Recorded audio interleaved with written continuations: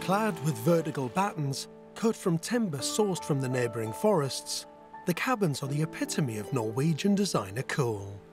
And on a snowy day like today, stand in contrast to the white blanket around them. But it's when you step inside that you notice the biggest contrast of all. What a beautiful space.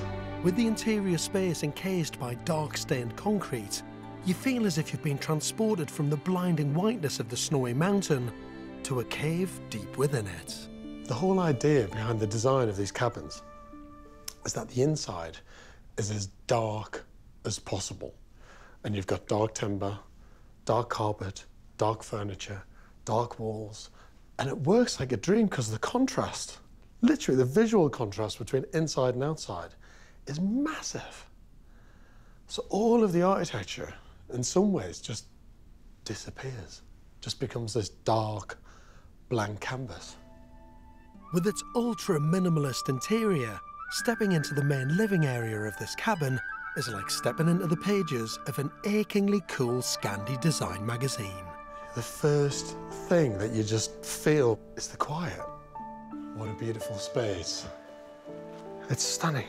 And with two bedrooms, two bathrooms, a private sauna, and underfloor heating throughout, it's also incredibly comfortable. And at the very end of your mini journey through this building, there's this kind of seating chill out area. It's lovely because you're, you're elevated up. And it's so peaceful and quiet. It's a spot where you just want to sit with a book and look out at that ridiculously beautiful view. You feel like you've kind of been held by the building and protected in this tough landscape. What a beautiful piece of architecture this is. And legend has it that if you drink from the river in front of your cabin, you'll be cured of any illness and rewarded with everlasting youthfulness. For £300 a night, that sounds like a bargain to me.